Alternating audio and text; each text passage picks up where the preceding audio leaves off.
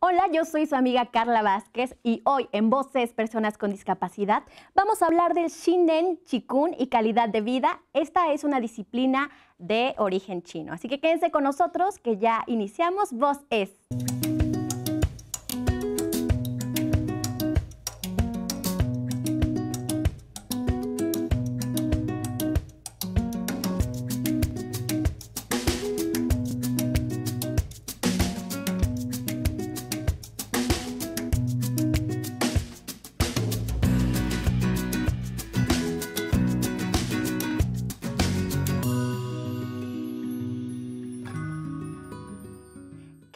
Shinen Chikun? Bueno, para hablarnos de este tema tenemos de invitada a Eugenia Liuti. Ella es instructora certificada. Bienvenida, ¿cómo está?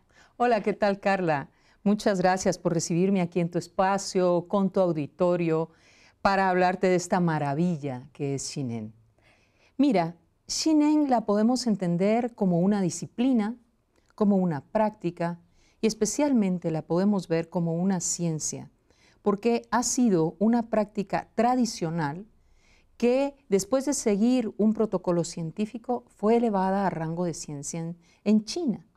Y tenemos la fortuna de que estemos ahorita recibiendo toda esta información que es milenaria, eh, ahora aquí en, en México. Lo importante a, ver en, en Chinen Chikung en lo que es sus raíces. Chinen Chikung parte del Chikung. Y podríamos decir, bueno, bueno, entonces, ¿qué es Chikung? ¿no? Sí, exacto. ¿Dónde es que tiene metidas sus raíces Chinen?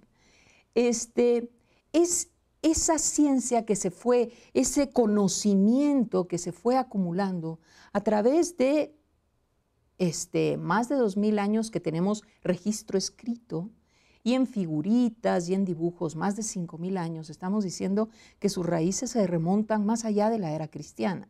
Entonces, estamos hablando de algo verdaderamente milenario. Eh, y que fue lo que fueron recabando como conocimiento hombres y mujeres muy sabios en China. Y buscaban ver cómo era que el cuerpo se relacionaba con los alimentos, con las estaciones, cómo podíamos mejorar su rendimiento, pero también cómo era el, proceso de nuestras relaciones interpersonales y cómo nosotros afectábamos a nuestro medio ambiente. Y eso se fue eh, recopilando y comenzaron a entender que había una serie de movimientos físicos, algunos muy sencillos y otros muy complicados, que unidos al eh, movimiento de la mente, comenzaban a generar dentro de nuestro cuerpo procesos de salud muy importantes.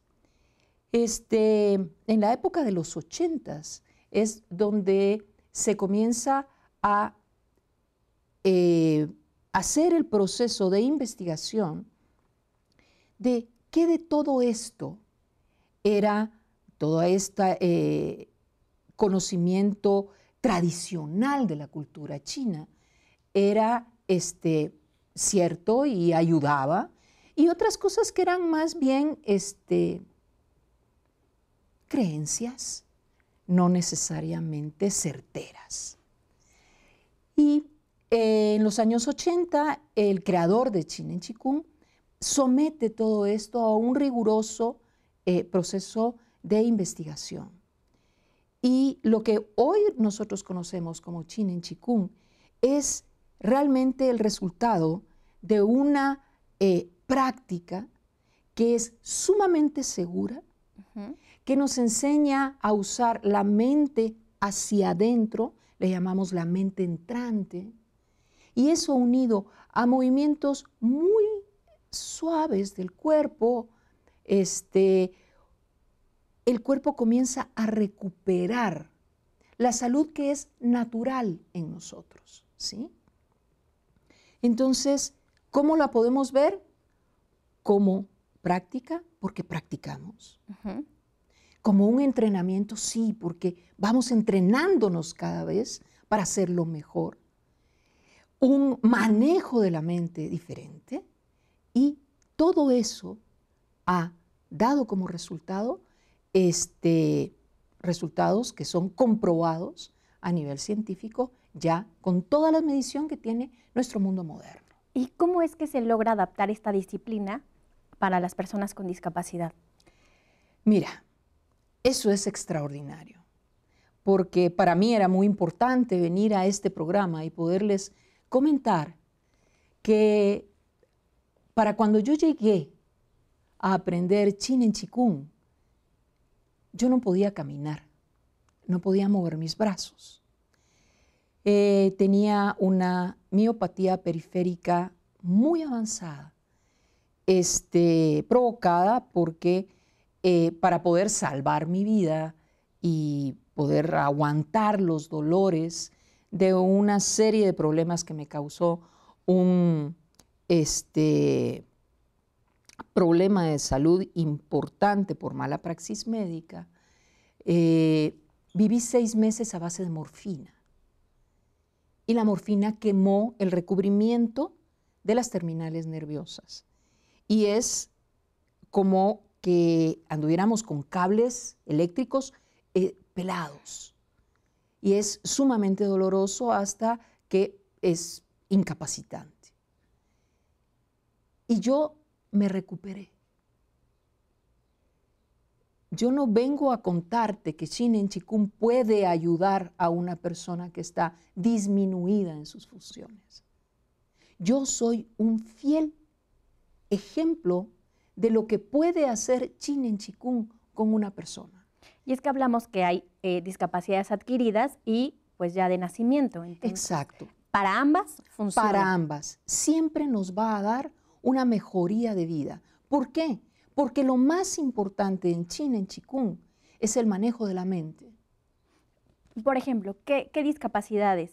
Eh, Mira, este, yo he tenido ya ahorita muchísimos alumnos, eh, por ejemplo, con discapacidades eh, motrices que han sido secuelas, por ejemplo, de accidentes, de accidentes cerebrovasculares, que los dejan con secuelas muy importantes y que se han recuperado y que están caminando. Si me lo permite, seguimos hablando de la recuperación que pudieron llegar a tener esas personas que practicaron esta disciplina. Con mucho gusto, Carla. Vamos a hacer nuestra primera pausa. Les recuerdo que tenemos números de producción. Los teléfonos son 243-6200, extensión 184 y 188. Vamos a hacer la pausa, enseguida continuamos.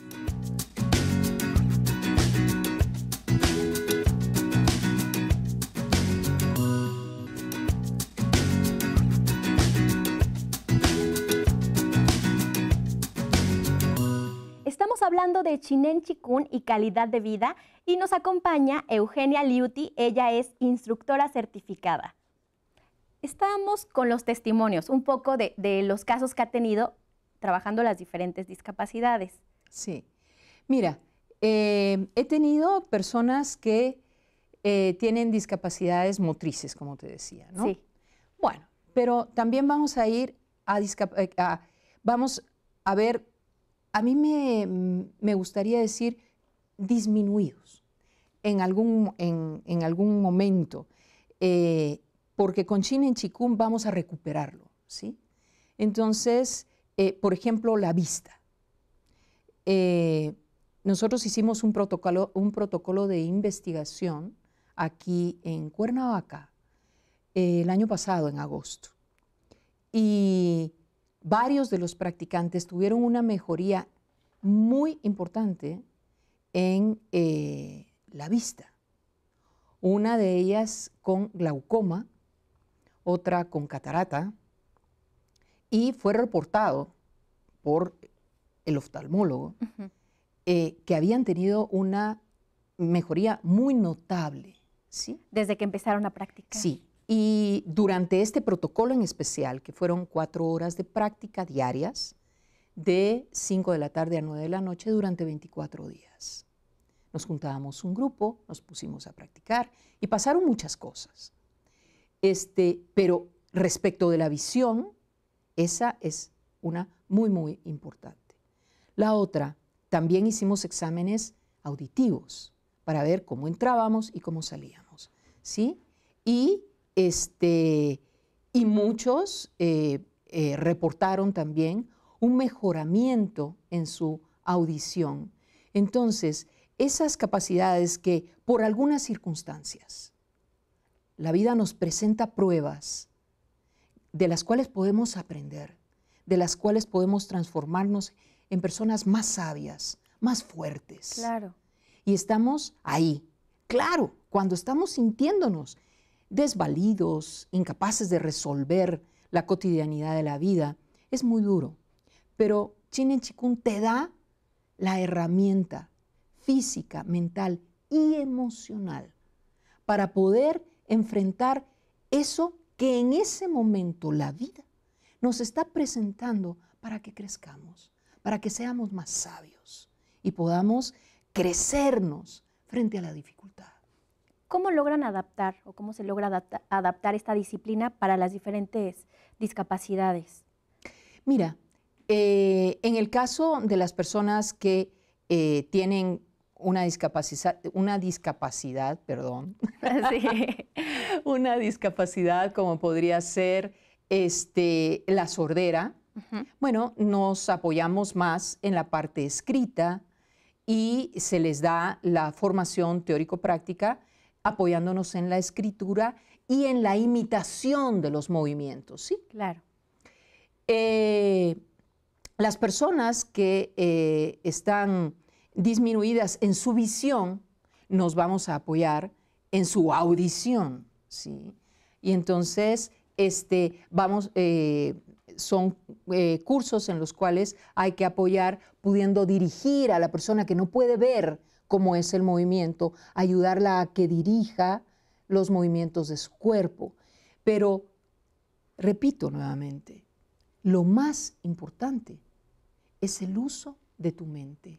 Aquí entraría una persona cuadriplégica. Exacto.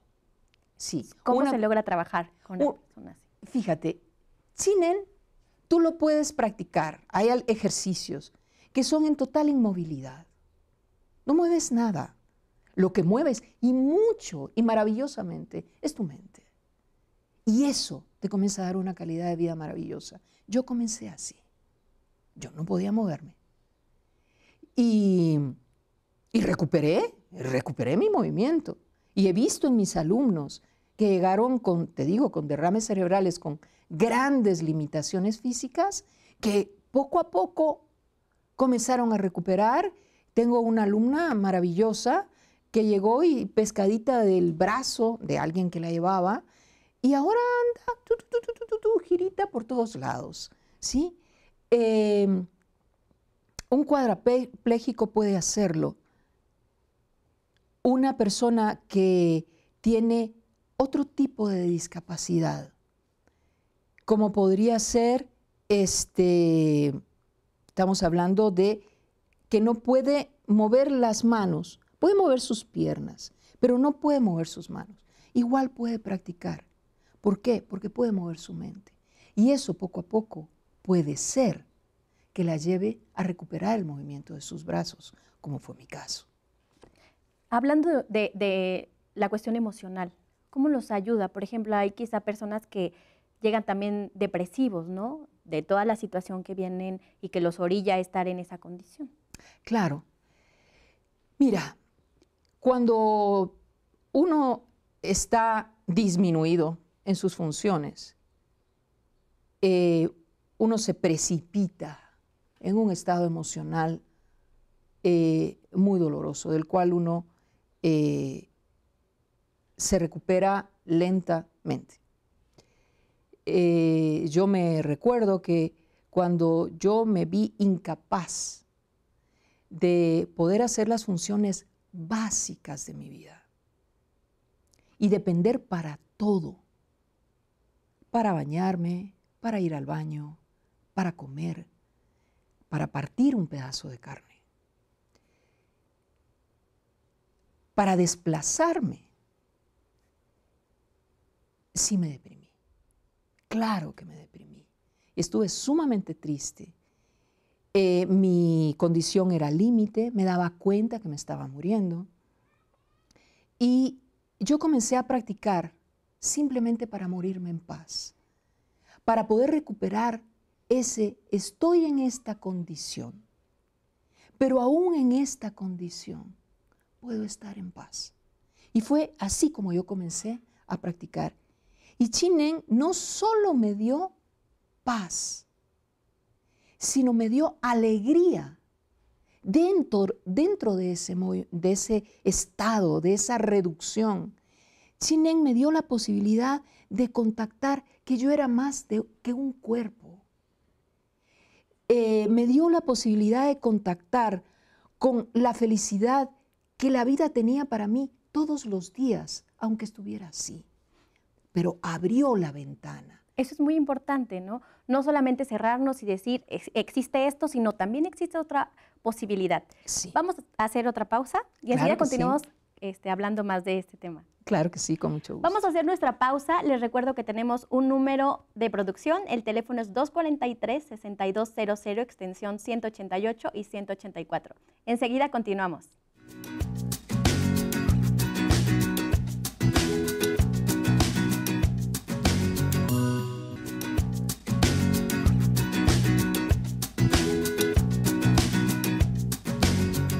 Tenía una miopatía esteroidea y tenía además el síndrome de Cushing.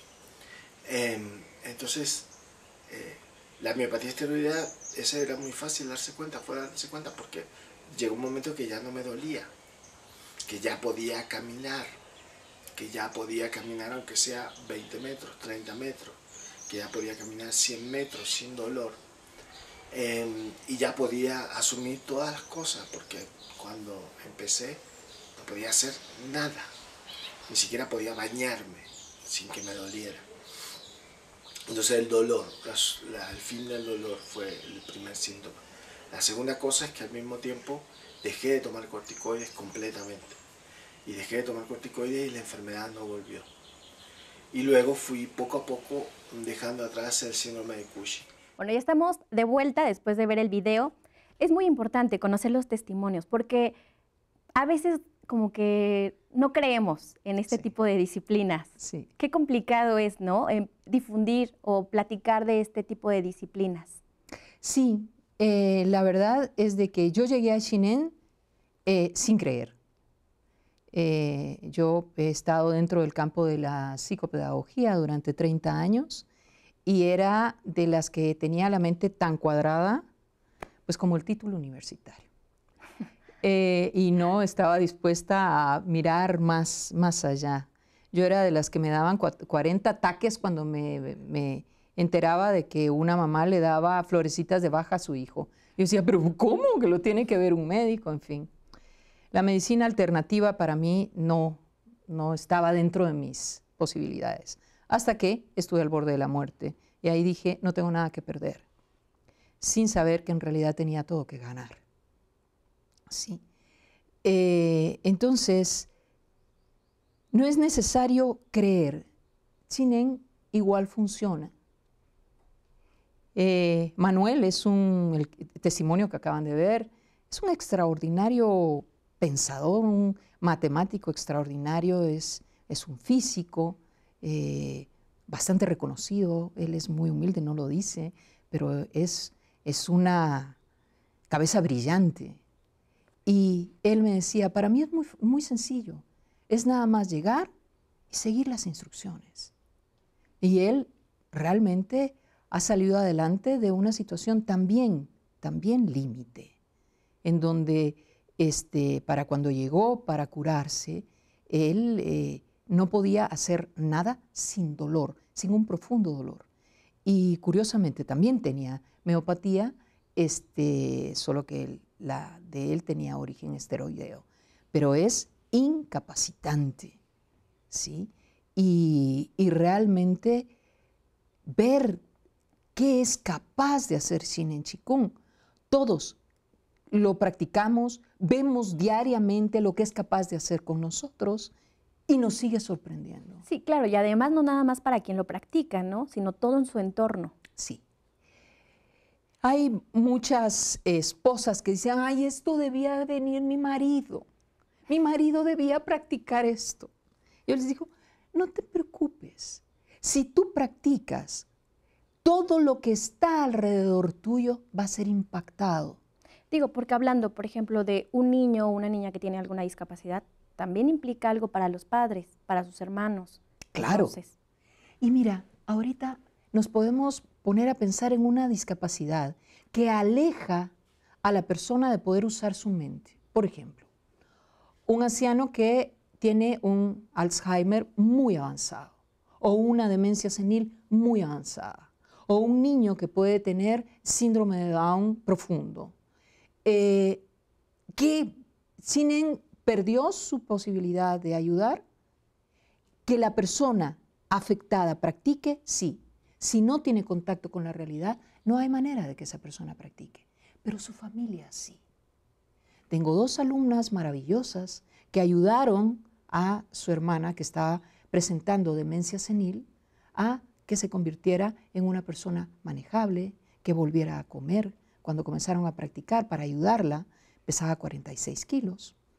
Este, eh, papás que ayudan a sus hijos para que eh, logren ir recuperándose de situaciones muy eh, difíciles, muy comprometidas, teniendo el niño muy poca capacidad para tener la concentración necesaria. Si hay alguien que quiera este, más información acerca de Shinen Shinkun, ¿dónde pueden pedir información? Bueno, yo les eh, digo, para mí es una fortuna estar aquí en Cuernavaca, en, el estado de Morelos,